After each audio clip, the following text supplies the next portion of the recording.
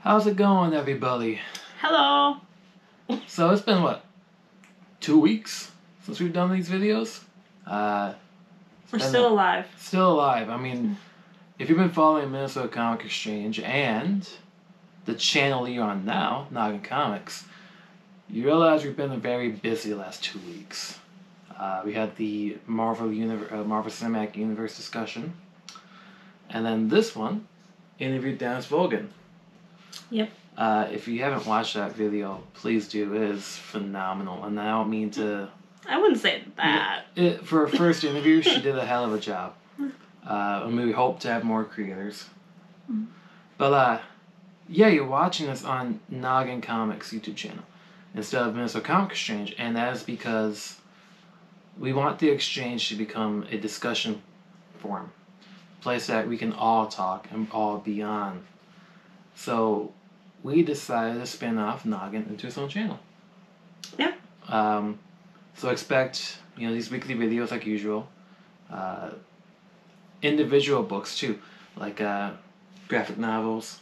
Mhm. Uh, maybe some Star Wars discussions with this one. Um, but Yeah. we got new setup, new lighting, new camera, new mic. Um, but before we talk about this week's comics, Yeah. I want to talk about this. A 9.6 CGC Mindbender Comic Time 101 exclusive. We won this. We won something. Um, came in the mail today, and I'm like, babe, I thought we were getting a mystery box, but there's a slab at the door. And she's like, what is it? And I'm like, is Piper? That's the artist. Mm-hmm. But, uh, yeah, we want to give a major thank you to Scout comics. Scout and Comic Time. I know we I know this is a giveaway we want it, but still, that channel and the box is one of the main reasons why we got into the comic community. Yep. Um, but Totally. another thing before we get into this week's comics is what we enjoyed last week, two weeks ago, Yes, on June 30th. June thirtieth. Um, because we were, we were gone. Uh, no, we were busy. Busy. But um, yeah, what was your favorite book? If you just pick one book, but what was your favorite book from two weeks ago from Wednesday now? Um, I think it was Barbaric number one from Vault Comics, Michael Moreci, and I can't remember the artist right now. Um, but yeah, it was just a really good um, first issue. Michael Moreci is a great writer. You have a talking axe and uh, basically a barbarian character. So I was sold. And a witch. And a witch. Yes. Uh, my favorite from two weeks ago was actually crossover number seven. Uh, Chip Zdarsky took over for Donny Cates with Phil Hester on Mhm. artwork. And it's probably the most mellow piece of comics I have ever read. It's true. Uh, basically, it's like how far can narcissism take you in life? it felt like. yes. Uh, but also is finding one's true love in themselves too. Mhm. It's a very complex storyline. I think it's one of the best comics so far of 2021. wow. Okay. So, yeah. All right. But uh, Let's get into July let's get yeah. 7th. Let's get into July 7th, and we'll switch things up. You know, new channel, new content, new format now. Instead of doing you know our top five, we're gonna do each other's Huh. top five. Yes. So, I want you to kick it off. All right. I think my number five is Nocterra number five. Very fitting. Um, I just think that this series just keeps getting like better and better. I mean, I was in it from the beginning. Um, just having Scott Snyder and Tony Daniel on a story, I'm sold. Um, but yeah, I mean this this issue just character builds a lot more. Um, and I mean. I don't really know what else to say except like I just felt so immersed in it, and it kind of just has that lingering like something's gonna happen the next issue. So I'm ready. Very, much has a Walking Dead feel to it. Like you Yeah. know something's going to happen. Kind of like a slow burn. Yeah. Yeah. Uh, my number five, which is basically like the curveball of the entire week, is New Day, Power Positivity. Uh, Evan Narcisse and uh, Austin Walker write it with Daniel Bayliss doing the artwork. And the team really captures the wrestling stable of the New Day. You got Kofi, you got Big E, you got Xavier. And this was one of those books where it was just a lot of fun. Like, I, I can't deny I had a lot of fun reading this. It was the very first book that I read from last week. We read 30 plus books. Mhm. And for me to retain everything from this issue showed this book was a lot of fun. It always makes me want to have pancakes too. Yeah, uh, the coolest thing is too that it, it shows the impact that Kofi had on Big E and Xavier, and you just, I, I'm a diehard wrestling fan. I've been a wrestling fan since I was like five, but yeah, '97. So yeah, five, but yeah, it was one of those things like, I think wrestling and comic books go hand in hand, and this worked extremely well. All right. Uh, my number four, whoop, hello, was Basilisk, Basilisk, I can't speak. Number two, from Cullen Bunn, Jonas, or Jonas Scharf. Uh, Jones. Jonas. I mean, it could go both ways. Um, anyway, from Boom Studios, number two. Um, I mean, number one also made our list, uh, like last month, but. yeah, months ago. Month ago? Yeah. Um, but yeah, I think this issue just you're starting to learn more things about these newer characters and just like the artwork from page to page is just changes. so cool. There's almost like an evolution of artwork. Yeah, and a horror aspect with one a certain art style versus the other art style. Um, That but yeah, final page. the final page is just awesome and it just keeps you wanting to keep turning the page. So I'm Mm. sold. At least for me, because I like Cullen Bunn and I like horror books. I, much like my critique, not really critique as much as my addition to what you were saying from last month, is this is Cullen Bunn's Scott Snyder story. I, mean, feel like those polls, like you're looking at that cover right now. Does that guy not look like the main character from American Vampire? no, this guy looks like one of the main characters from Vampire, American Vampire. Yeah. Not like the main character. That's not um. Oh my god! Now we're horrible people for forgetting his name. Oh, It's the guy who comes in who's like the the seventies or eighties character. He's like. I was thinking the main character. no, actually. no, Yeah. no. But Okay, I'm just disagreement. saying, like it's very much like Scott Snyder's Nocterra, what you just talked about, but it's and not. American Vampire. Okay, he can have his opinion, So. but I think that I don't know. Like maybe I'm a sucker for like Cullen Bunn. Cullen Bunn and female baddies, quote unquote. I don't know. Okay, continue. So, my number four pick is Crush Lobo. Number two. Number two. Yeah, I made the list again. Huh.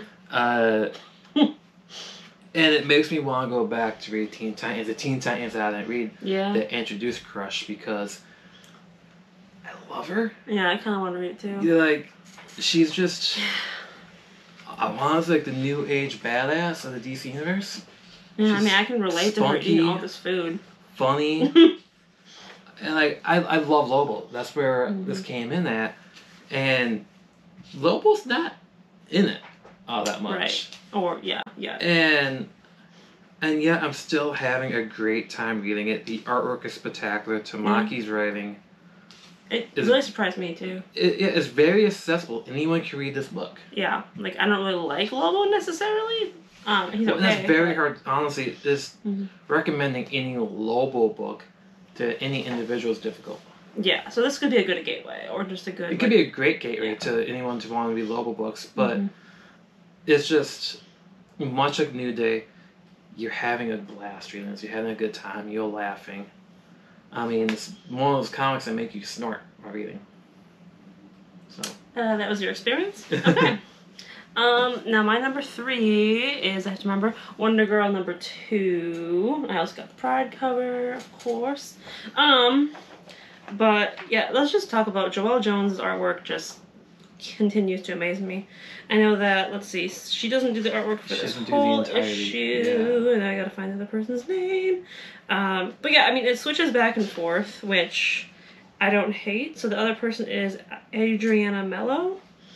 And yeah, you just kind of get to know a little bit more about what's really kind of going on with Yara Flor and um, kind of a little bit of her backstory as well as why are these people going after her? So, um, yeah.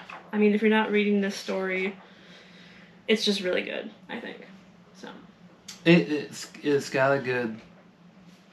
It's got a good story. It's got a good body to tell Okay. what's coming. whose pick is this? So you can add to it. You have the educational Lobo. I'm joking. So no, I yeah, I think it's a good story too. It didn't make my top five. Yeah, I was a little like the person at the end coming in. I'm like, um, okay, where is this going exactly? It's But it's not- it's not no, it's uh, um, well, spoilers. It is. Don't say it. Yeah, no, it's a certain like character, and I'm like, well, A quote unquote potential love interest. yeah, but let's not focus on that. Let's focus on Yara Flor being a badass. But So. that's just me. Uh, my third pick is Justice League Infinity. Um, so I love the Justice League anime series, and this just felt like an expansion to that. It felt like an episode. It even alludes to episodes and where to catch this reference from. Mm-hmm. Um, anything that's got to do with John Stewart, Hawk Girl, and now Vixen, Mm-hmm. I'm all for like, this is an expansion of the anime series. Which I still need Which you haven't seen, so I think we had a different experience by reading it. Yeah, but I love that it was Apokolips centered. Oh, yeah. Any goodness. And I mean, uh, the artwork is very much that Bruce Timm. oh yeah. Um, but yeah, the bringing in the Apokolips and new gods. Mm-hmm. That was a lot of fun. Granny Goodness is awesome in it. There's this one really cool page that is so cool, like all of the characters in one in one scene, which I was like, okay, I need to now go back and watch the show. Oh yeah, you, I have been saying watch the show Yeah. for the last couple of years. But it also has really awesome Martian Yes. Manhunter moments. Yeah, it does. So Yeah. I can't wait to see what the next. Well, it doesn't even have a number on it. It just has number one. But I can't just wait to see what the future is of this. Isn't it gonna go on for infinity? Ha. Unlimited, like the series was. Mm. So Puns. Okay. So my number two, like you saw, is Fight Girls number one. A- this AWA Frank Cho and Sabine Rich. So we actually got to briefly meet Frank Cho in Chicago. He was pretty cool. Got a few prints. But I didn't know that he really wrote slash drew Mhm. comics. So this this story basically the premise is it says on the cover there's 10 women basically whoever wins moves on to the next um, ta- I'll just read the race. tagline. Okay. 10 women, 4 challenges, 1 crown. Winner rules the empire. Universe. Empire. Oh, Empire. so, yeah, just like there's dinosaurs. It's not really a spoiler, but that's pretty when awesome. you have Sabine Witch Rich doing the coloring yeah. on Frank Cho, Yes. Like Yeah, I mean, it's just so gorgeous. But I think the way that this is building and maybe over the next four issues, um, is is maybe gonna you know, pin people against each other or something in the background's gonna happen. Who knows? But I'm hooked. So can I be honest? what? It probably didn't crack my top ten. Okay, well I liked it, so, So anyway. That's my take. My number two, which is a toss up because it could this ties into one other book in DC Universe, is Suicide Squad five. Uh, and I mentioned I don't want to give spoilers away, but it ties into another book. Mhm. And you preferred that book over this. Yeah. And we should just say it. This is Swamp what I'm Thing. saying. But I kind of feel like this is almost tying into the film coming up because Bloodshot, a Bloodsport, Mm, Bloodsport, yeah. was right on the first page, just pure badass. Yeah, that's a pretty awesome shot. It, it actually wrote the whole book. Yeah. and it kind of ties into Crime Syndicate as well. And honestly, this is a better version of Crime Syndicate Yeah. because the issue that just recently came out of Crime Syndicate was probably it just my least liked book of the week. yeah, it just like featured the team in it. Yeah, I mean, I, I love the Syndicate. I love the whole storyline. Yeah, the concept is- too, but The concept is cool, but the execution hasn't really been really there. But yeah, it, for us, but this has been a very strong Suicide Squad run, Yeah. especially coming off after Tom Taylor's run that I thought was Yeah. perfect. So good. So good. So And pick up Suicide Squad if you Yeah. Or maybe wait for the first arc to come to an Yeah, end. that's exactly when she left the first arc. Um, Yeah, so we have just this cover um, shared top pick of the week, as it maybe should be. I Mm-hmm. don't know. Um, nice House on the Lake 2 with this cool variant cover. Um, yeah, what do you want to really say about this? I, I love how, The, a continuation of the, Yeah. the greatness of issue I mean, one. it kind of starts off in the same way as number one did, where it's just the one character talking and then it continues. And there's not just there's different types of dialogue in this, kind of similar to the first issue with that social media This is page. all character building, all character yes. and word building. It's just uh, I mean- taking his time with this book, and it is gonna drive people nuts, but in the best type of way. In the best type of way. I mean, you're gonna fall in love with these characters. yeah, and Walter is creepy as hell. So that's But kind of the also, he's like one of, one of the coolest creations of the year. yeah. This whole book is cool. Okay. Like I, I feel like this could be a a Netflix series or a big budget HBO horror Max. film. Well, yeah, it's DC, so it'd be HBO Max. Yeah. But yeah, about reading this like in the manuscript, how they use a manuscript Yeah. talking about what happened in the house. Yeah, it's just so smart. And like another page where it's just the symbols and Like one, it you have to read it multiple times to Yeah. really enjoy it. Yeah, I read number one right before I read number two, and I feel like I'm gonna keep doing that. And there's this really cool page of The co- uh, comics. all the comics, like on the shelf. almost like the comics that Yeah. inspired him. Right, I just thought that was a cool, cool tie. But yeah, if you haven't read one and two already, do yourself a favor and read it ASAP. So Yeah, it's yeah. I have a feeling it could be an next Memphis Killer Trailer type of book. yeah, I mean, I'm not saying it's the same writer, but Right. I'm just saying but I'm it's- just saying. Is that good.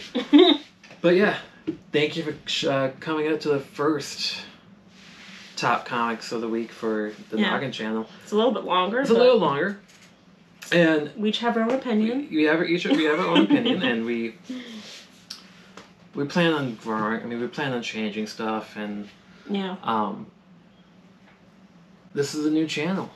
I mean, new beginning. That being said, we we can continue doing content from Minnesota Comic Exchange. It's just now. I feel like we have an opportunity to continue growing, Mhm. and we want you guys to do that. We want you to like the video. We want you to subscribe. Just subscribe and do all that stuff. Do, do everything and comment. Yeah. What was your favorite book from last week? Uh, why was it The Nice House on the Lake? Let's yeah, just be honest. That's true. Um, I guess not fight girls. I'm just saying, like, I saw everything coming from that book. okay, but There was no surprises. yes. Okay. But yeah, welcome to Noggin Comics. Watch the interview Stan Spoken. Yes. Um, and if you're in the Minnesota area, let us know if there's any creator that you would want us to reach out to to interview potentially. Or if you're that person. If you're that person, if you or if you own a comic shop, we would love to visit the comic shop and talk to you. So, but Thanks for watching. thanks for watching, and see you at the comic shop.